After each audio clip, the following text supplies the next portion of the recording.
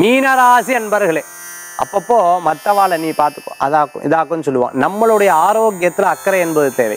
பண வரவுகள் தேடி வரும். இது இல்லையே நினைப்பால் பண வரவு வந்துடும் அதனால முயற்சி எடுங்க.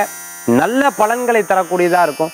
சின்ன சின்ன விஷயங்களை சில ஆட்கள்கிட்ட கொடுத்துட்டு இவன் சரியா பண்ணலையேன்னு வருத்தப்படுவேன். இப்படி கிடையாது. நீங்க போய் அந்த இடத்துல நின்று பாருங்க அந்த காரியம் வெற்றி ஆகும் இன்றைய தினத்துக்கு உண்டான அதிர்ஷ்டமான எண் ஒன்று. என பல வர்ண நிறம் வழிபாட்டுக்குண்டான தெய்வம். மகாலட்சுமி வழிபாடு செல்வத்தை உயர்த்தும் அற்புத வழிபாடு.